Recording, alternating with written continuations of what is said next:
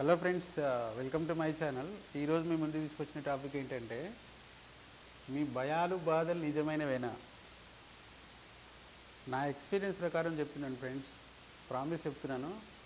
మీకు ఉండే బాధలు కానీ మీకు ఉండే భయాలు కానీ నైంటీ ఎయిట్ పర్సెంట్ నిజం కావు. మీరు భ్రమల్లో బతుకుతూ ఉంటారు. అవి నిజమైన బాధలు కావు నిజమైన భయాలు కావు. అసలు భయం అంటే ఏంటి? నాట్ ఎగ్జిస్ట్ దెన్ వై భయం అంటే మీరు అప్కమింగ్ ఈవెంట్ రేపు ఏదో జరగబోతుంది. రేపు ఏదో అవమానం జరగబోతుంది. రేపు ఏదో కమిట్మెంట్ ఉంది అది ఫెయిల్ అవుతున్నాను. రేపు ఏదో రాబోతుంది. మీరు ఎప్పుడైనా చూడండి భయం అనేది ఫ్యూచర్ టెన్స్ అంటే మీకు జరగబోయే దాని గురించి మీరు టెన్షన్ పడడం. అసలు రేపు అనేది క్వాంటమ్ సైన్స్ ప్రకారం రేపు అనేది లేదు. రేపు ఏం జరుగుతుందో తెలియదు రేపు ఏ మిరాకిల్ అని జరగవచ్చు మీరు కమిట్మెంట్ ఫుల్ఫిల్ కూడా కావచ్చు. మీకు లేనిపోని భయం భయం అనేది అసలు ఫ్యూచర్ ఈవెంట్ దాని గురించి అంటే ఫ్యూచర్ అంటే డజ్ నాట్ ఎగ్జిస్ట్ మరి మీరు భయం ఎందుకు? దానికి ఫ్యూచర్ కోసం భయపడి ప్రజెంట్ని ఎందుకు పాడు చేసుకుంటారు? ఏదైనా సరే అది పెద్ద కమిట్మెంట్ అయినా సరే లేకపోతే ఇంకేదైనా సరే మీరు భయపడాల్సింది హెల్త్ బాగాలేకపోతే భయపడండి. హెల్త్ ప్రాబ్లమ్స్ వస్తే బా భయపడండి. హెల్త్ ప్రాబ్లమ్స్ ఉంటే బాగా చేసుకోండి. మిగతా ఏవి మిమ్మల్ని హట్ చేసి నాశనం చేయడానికి ఉండవు. అసలు భయం అనేది ఒక ఊహ. మీ ఫీలింగ్ ఫ్యూచర్ గురించి ఫ్యూచర్లో ఇది జరగొచ్చని మీ ఊహ అంతే. అది రియల్ కాదు. ఫ్యూచర్ ఏది రియల్ కాదు. సో మీరు భయం గురించి మర్చిపోండి. It's not does not exist అది ఏ పెద్ద ఎంత పెద్ద ఈవెంట్ అయినా సరే ఏమైనా సరే we can face it no problem second బాధ అంటే ఏంటి? బాధ అంటే మీకు బాధ వచ్చేది నైంటీ నైన్ పర్సెంట్ మీకు బాధ ఎప్పుడు వస్తుంది తెలుసా? ఏదో ఎక్స్పెక్ట్ చేసి ఎవరి నుంచో ఏదో ఎక్స్పెక్ట్ చేస్తారు. లేకుంటే ఏది నుంచో అది ఫ్యామిలీ నుంచి కావచ్చు బయట నుంచి ఫ్రెండ్స్ నుంచి కొలీగ్స్ నుంచి ఎక్కడి నుంచి అంటే ఏదో ఎక్స్పెక్ట్ చేస్తారు. ఎక్స్పెక్ట్ చేసి అది కాలేదు మీకు బాధ అనిపిస్తుంది. లేకపోతే ఇంకా ఘోరమైన విషయం ఏంటంటే పక్కనోడితో కంపారిజన్ మీరు ఆపేస్తే మీ బాధలు అసలు బాధ అనేది ఉండదు.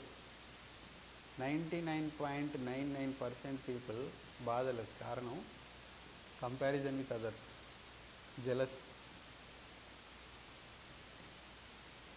వాడికి నాకు లేకపోయా.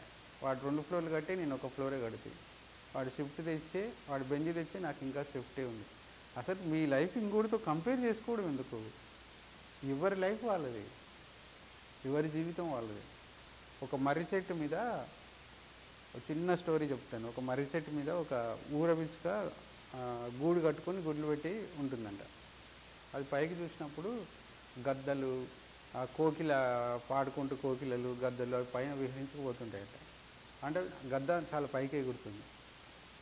ఆ మర్రి చెట్టు దగ్గరకు ఒక దేవు దేవుడు ప్రత్యక్షంగా అక్కడ తిరుగుతుంటే దేవుడిని అడిగిందంట నన్ను చాలా చిన్నగా క్రియేట్ చేసినావు ఆ గద్దను చాలా పెద్దగా క్రియేట్ చేసినావు గద్ద హాయిగా గాల్లో ఎగురుతూ ఎంత దూరమైనా వెళ్ళిపోతుంది.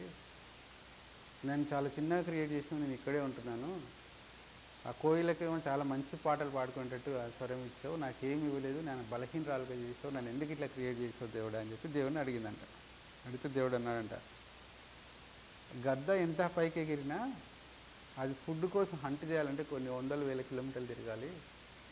నువ్వు వెజిటేరియన్ నువ్వు ఫ్రూట్స్ తినుకుంటే ఈ చెట్టు మీదనే బతికేయచ్చు. నీ అంత పీస్ఫుల్గా గద్ద ఉండదు.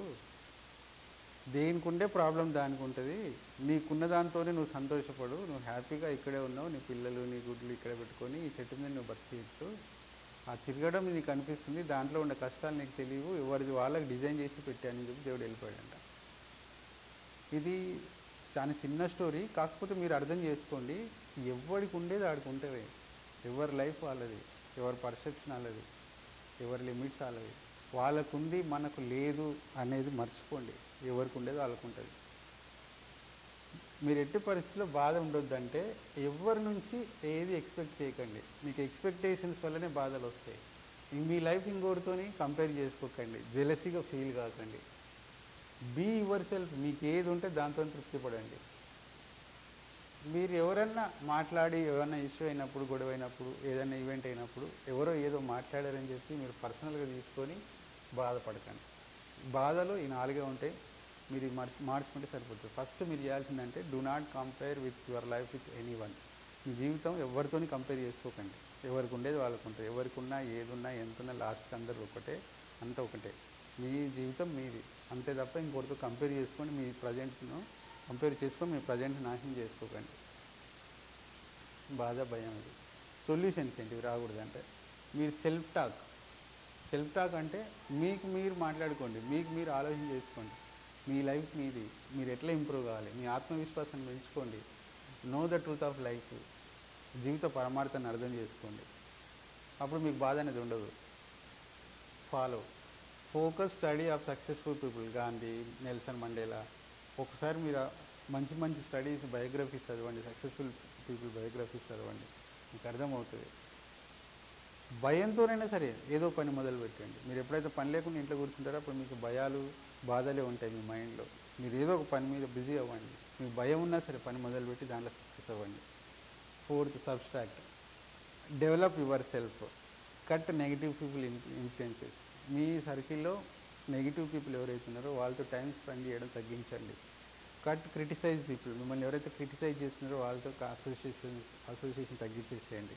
మీరు ఎప్పుడైనా సరే ఐ కాంట్ ఐ డోంట్ ఇట్లాంటి స్టేట్మెంట్స్ ఇవ్వకండి. I have to I should ఇట్లాంటి స్టేట్మెంట్స్ ఇవ్వండి. ఇట్లాంటి విషయాలే మాట్లాడండి.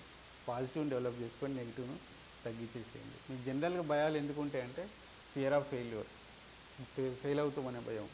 రిజెక్షన్ అంటే వేరే వాళ్ళు మిమ్మల్ని రిజెక్ట్ చేస్తారేమో యాక్సెప్ట్ చేయరు అని భయం సంథింగ్ హ్యాపెన్ బ్యాడ్ హ్యాపెనింగ్ అంటే రేపు ఏమైనా తప్పు జరుగుతుంది అనే భయం గెట్టింగ్ హర్ట్ గెట్టింగ్ హర్ట్ అంటే మీరు హర్ట్ చేస్తారేమని భయం తర్వాత బీయింగ్ జడ్జ్డ్ అంటే మిమ్మల్ని తక్కువ మాట్లాడతారేమో తక్కువ అంచరిస్తారేమో అని భయం లాస్ ఆఫ్ ఫ్రీడమ్ మీ ఫ్రీడమ్ ఉండదేమో అని భయం ఇవన్నీ మీరు క్రియేట్ చేసుకున్న భయాలే.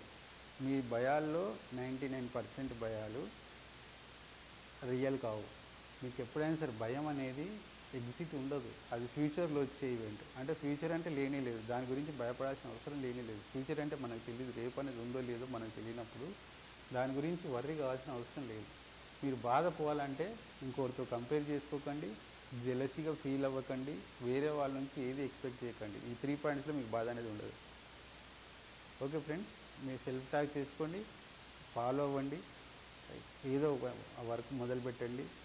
నెగిటివ్ పీపుల్ని కట్ చేయండి క్రిటిసైజ్ చేసే వాళ్ళకి దూరంగా ఉండండి. ఖచ్చితంగా మీ భయాలు బాధలు అనేవి ఉండవు. మీరు ప్రాక్టీస్ చేయండి ఖచ్చితంగా మీకు సొల్యూషన్ దొరుకుతుంది. అనవసరం భయాలు పెట్టుకొని మీ ప్రజెంట్ని పాడు చేసుకొని మీ ఫ్యూచర్ను నాశనం చేసుకోకండి. ఏది ఏమీ కాదు. Thank you very much next వీడియోలో మళ్ళీ కలుస్తాను. Please subscribe my channel please share my videos thank you very much